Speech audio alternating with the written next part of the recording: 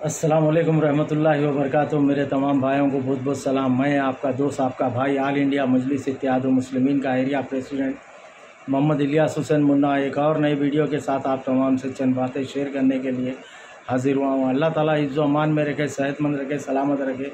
आप तमाम को ये मेरी दुआ है।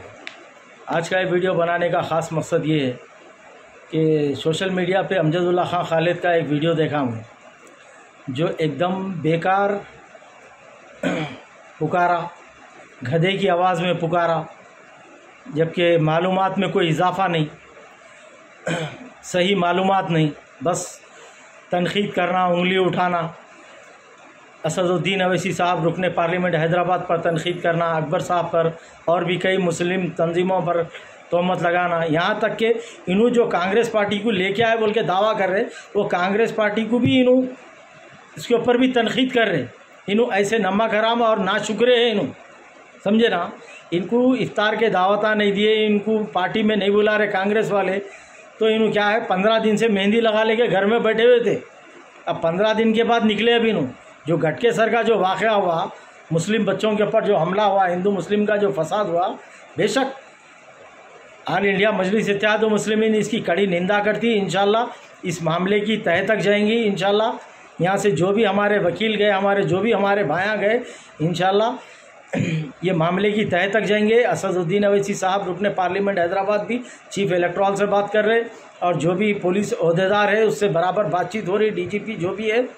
मामले की पूरी अलहमदिल्ला जाँच हो रही और बातचीत हो रही कायदीन की।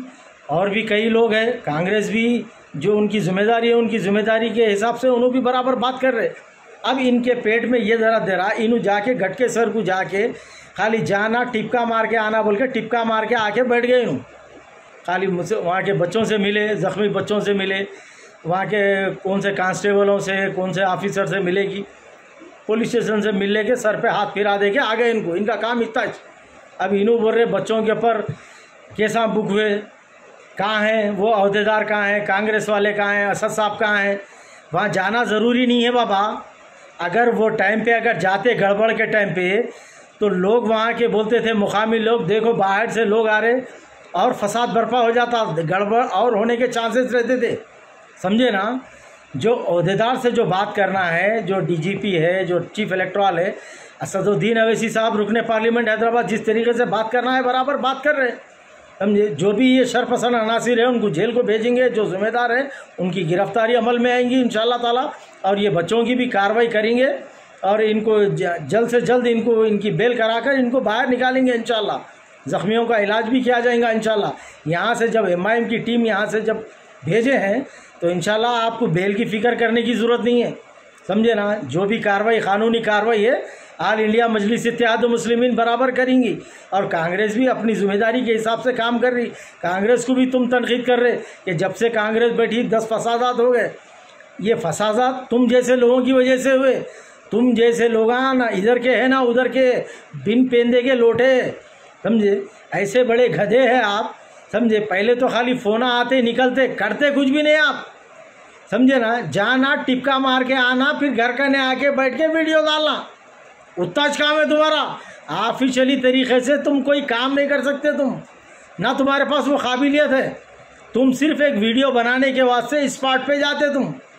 समझे? चलो, जाके तुम क्या करे? चलो, कोई नहीं गए ना तुम जाके क्या करे? मेरे को ये बोलो। मेरे तमाम मेरे भाइयों से ही मैं गुजारिश कर रहा हूँ। इनू जाके क्या करे? कौन से ऑफिसर से मिले? वो बच्चों को क्या बात करके बाहर निकाले? है पुलिस एक तरफा कार्रवाई करी, ये गलत है ये। हम भी मानते। ये गलत है बोल के असदुद्दीन अवैसी साहब रुकने पार्लियामेंट हैदराबाद, बराबर, जो अहदेदार है उससे बात कर रहे हैं। और जो जो शरपसंद अनासिर है, उनको गिरफ़्तार करने की भी बात करें, उनको जेल को भेजने की भी बात करे, और जो ज़िम्मेदार है इस फसाद के, उनको पूरों को अरेस्ट किया जाएगा इन ताला। और ये आयन इलेक्शन के टाइम पे ये होना बोल के एक बदमाशी चल रही है शरपसंद अनासिर की। चंद वोटों के खातिर हिंदू मुस्लिम का फसाद कराना चाह रहे हैं। फसाद बर्पा करना चाह रहे हैं। जिसमें ऐसे अमजदुल्ला खान जैसे लोग हैं, खाली दिखावे की हमदर्दी करते, दिखावे का पुकारा करते करते कुछ भी नहीं इन लोग समझे? खाली बस गधे की ऐसी आवाज़ा निकाल लेते, बैठ जाते खाली। वहाँ ये हुआ, वहाँ वो हुआ उन्होंने नहीं कर रहे इन्होंने नहीं कर रहे। आज कांग्रेस तुमको नहीं बुला रही, तुमको थूक के नहीं देख रही तो तुम आज एक तरफा बयान शुरू कर दिए। सबके ऊपर तनखीद करना शुरू कर दिए। एम आई एम को ले लिए, मुस्लिम तंजीमों को ले लिए, कांग्रेस को ले लिए, सबको लपेटे में ले लिए, क्योंकि तुम अकेले और तनहा हो गए। तुमको कोई थूक रहा नहीं बुला रहा नहीं। समझे ना, पहले मेहंदी लगा लेके पंद्रह बीस दिन से घर में बैठे हुए थे तुम। अब निकले, ज़रा गड़बड़ हो गई, जाके ठंडा हो गया ना, ज़रा जाके मिल के आएँगे बोल के। गड़बड़ के टाइम पे नहीं गए तुम भी। सब होने के बाद गए तुम। समझे ना, अगर यहाँ से हमारे लोग जाते ज़्यादा वहाँ पे जिस तरीके से तैयारी शरपसंद अनासिर की चल रही थी, उसमें गड़बड़ भी हो सकती थी। हिंदू मुस्लिम का बहुत बड़ा फसाद हो जाता था ये रमज़ान में और इलेक्शन के मूवमेंट में। समझे ना, तुम्हारे पास दिमाग है, तुम अमजदुल्ला खान खालिद तुम्हारे कहने दिमाग नहीं है। खाली बस सोशल मीडिया पे बैठ के पुकारा करना भोगना बस इतना ही आता तुम्हारे को। ऑफिशियली तरीके से काम करना नहीं आता। तुम अनाड़ी है इस मामले में। समझे कौन से भी मामले में रहो? अनाड़ी है तुम।